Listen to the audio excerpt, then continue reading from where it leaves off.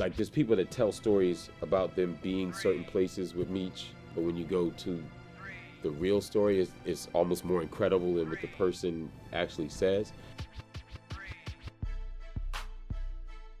The day was just crazy. We started early. We shot in Williamsburg, Brooklyn.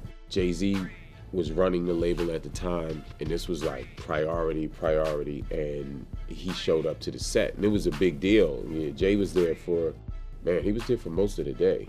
Jeezy had this this this uh, magnetic feeling because everybody that was somebody in New York showed up to that shoot. Cam was in the video, so everybody from that camp showed up. Lil Wayne came. You know, they all had these red Ferraris riding around. It was just a crazy. It was a it was a crazy day.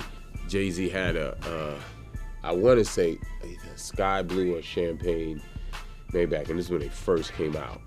Meech drove up in two Maybachs. He pulled the Maybachs up, and he, I don't know if he purposefully did it or whatever the case may be, but he he pulled them in in order to block in Jay's Maybach. You know, Meech was always friends with Diddy. Like that was his that's that's his boy. You know what I mean? That was always his boy.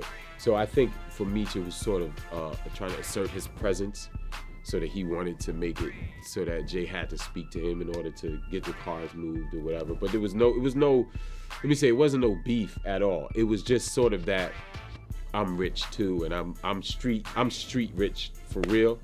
You know, there's a lot of folklore about Big Meech, like the mythology of Big Meech. Mostly all of it is true.